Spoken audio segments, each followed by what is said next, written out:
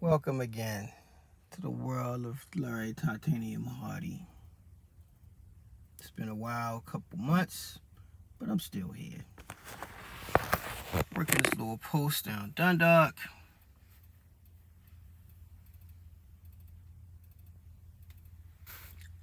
Things have changed last couple months. What can I say? Got a few knickknacks.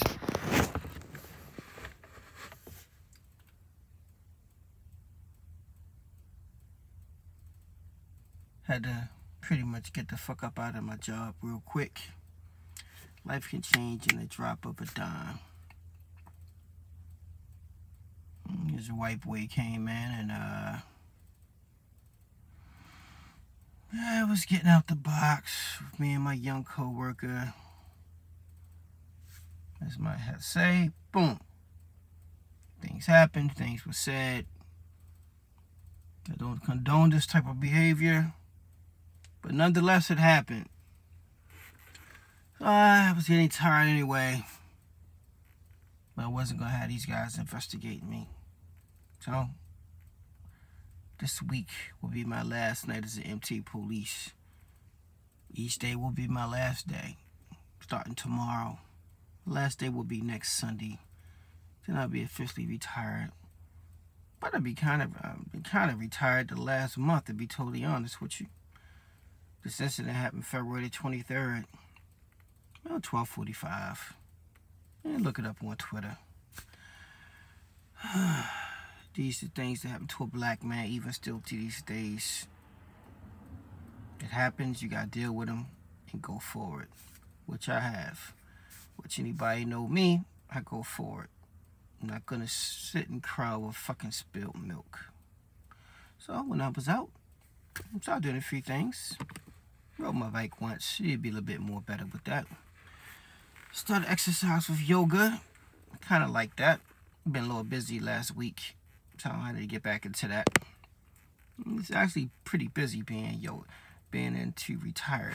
It's, you know, you sleep a little bit, and before you know it, you gotta do this and this, and before you know it, you into the the evening part of your day. I love it though.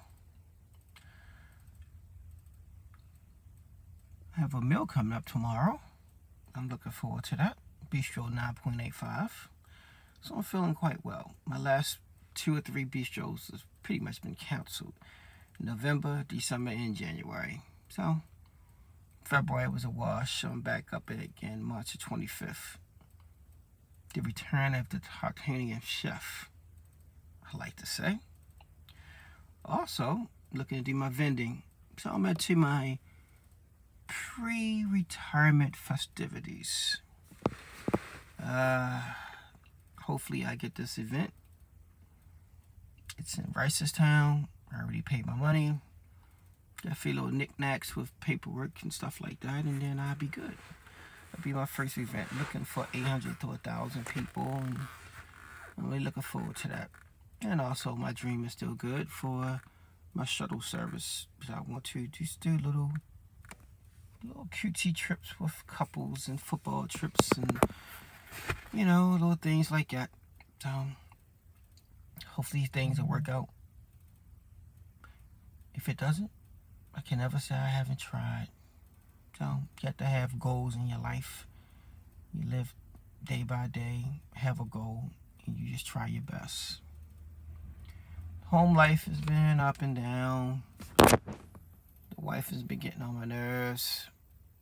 Everybody else has been cool with my son. You know, everything's good with that yeah, battle here, battle that. My wife is a person who likes to, I guess she likes to not be told what to do, even though it's the right thing to do. So these things become a battle of wills. But my will is correct, and I will not lose. My wife knows this. She has a hard time dealing with these things. I don't call myself alpha male for nothing. She calls herself a top level bitch or whatever this and that. But at the end of the day, your will will bend to me Most people will, will also. I think it's like that when you, uh, just the type person I am. I'm a good person. I'm a fair person. But I can go the other way too. Next thing I want to talk about is just my post career. I'm happy it's here. Do my little security thing, which I'm doing right now.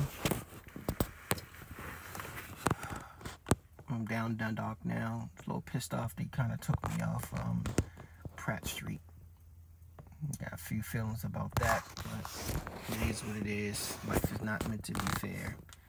It's a constant change of things, especially in my owl thing with security.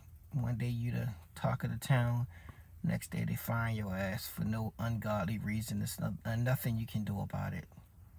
Gotta take the bitter with the sweet. I know how this game works. But also, I want my own shit. You feel me? That I make my own goddamn schedule and to make the money I want to make. That's what I want to do. So, that'd be one of my goals also.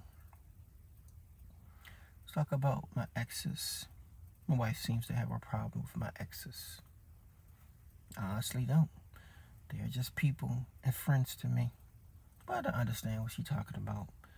And like I told her, I don't give a fuck about your exes. I know you don't want to fuck them. Well, Larry, you fucked them. Yeah, well, yeah, I did, you know. Yes, I did. But that's a long time ago. We need to let bygones be bygones. Yes. You forgave me for these things. I've been a good man. Yes, I have. I told my wife to look me in the fucking eye. She couldn't do it. Because she know fucking well that I'm not playing on her ass.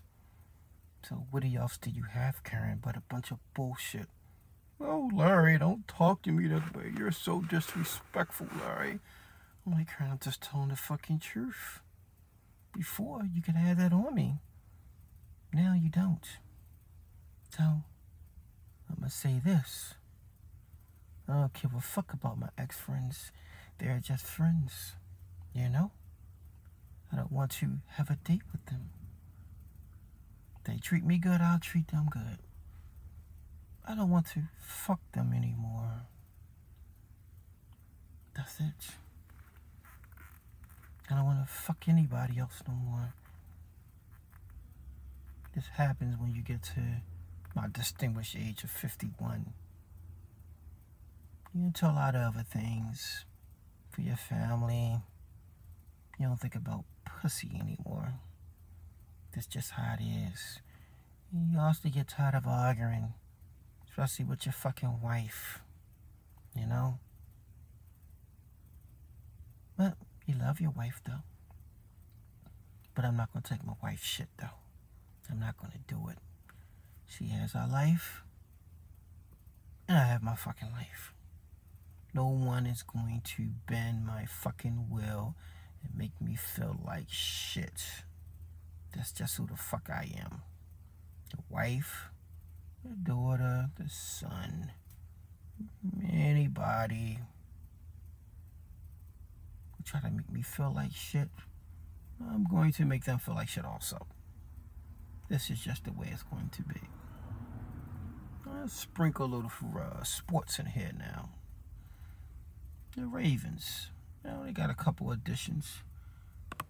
I agree what they done.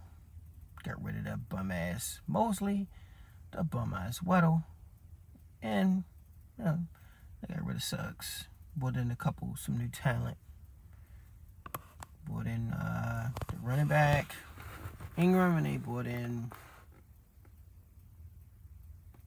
safety, Earl Thomas. Cleveland has a killer team. Still, you have the roller balls out there. What I like about the Ravens, bend your will. You have to play man on man, man on one football. Period. They're not going to give you anything. You have to take it from the Ravens. That's my spill with football. So going forward, Mars My Bistro. I'm sold out. A few more things got to do. That'll be done. And it's on to my next accomplishment. Gotta have accomplishments in life. What have you accomplished? Ask yourself in that mirror. The one who's looking at this. Have you accomplished anything? Anything. Have you set a goal and accomplished things? This is Larry Titanium has done. I look at things, I want things, and I put in the fucking work. And so my wife, she was hating on me because I'm retired. I said, Karen, I've been busting my ass since six days after I graduated from high school. And it's time for me to get my fucking props before I fucking die off this earth. So, I think she started getting used to it. Because if you don't, I just shut her ass down, make her look stupid. I'm son. Son has a baby coming on. He's starting to accept the. He's, he's accepting it. I'm cool with it. I don't like how it was done with the young lady, but at the end of the day, my son made a mistake too. They still cool. Seems that they're gonna raise this baby together. It's not the ideal situation. But most most situations when you bring a baby in, it's not ideal. So that being said, I think they'll be okay. Behind all my son's bullshit, he's a good person. You know, he will do the right thing. You know? So my daughter she's doing great. I love what my daughter's becoming. You know? Brother's doing great. Family's doing my sister is doing awesome. What I love about my sister, you call her if she can do anything, she's going to do anything. That's what I'm saying about people. That's how I am. That's the way I was raised. A lot of people not like that. They don't try to help one another. I feel as though when you help one another, when you come back, you never know when you need that person. So try to lift everybody, no matter the damn race, the color, anything. One thing I got a problem with racist people. I don't care who they are, white, African motherfuckers, because they hate black people. Asians, Jewish people. Humans can sniff a human's spirit. Boom. And there you go, right there. It doesn't matter what color you are, it's your spirit. Now, I think certain white men have a propensity to have an uppity attitude, especially towards black men. Me, myself, I don't fucking like that. Because I'm going to treat you like a man. If you try to treat me unlike a man, I'm to make you feel unlike a man. That's how to make you feel. So, you need to treat me like the ultimate fucking man.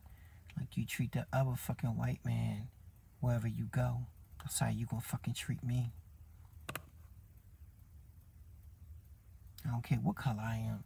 Japanese, white, you give motherfuckers respect. Period. Means a lot to me. Well, that's about all I gotta say now. I think I had a test for my other hat was boom. Another one. About seven or eight hats now. This one is called the police. I bought this hat. I work my details. There's a certain class about it. When people look at it, we say that's a nice hat. Sense is strong. The Russians. Then you have your little thing on there. It's you too. It's you.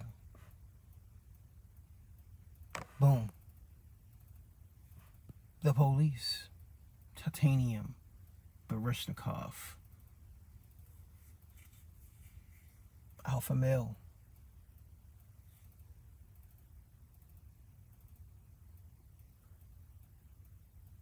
Good evening. Good evening. See you guys to the next. This is Larry. The Titanium Hardy. Session number 07. The Reawakening. Carry him to the forefront of his other life. I'm out.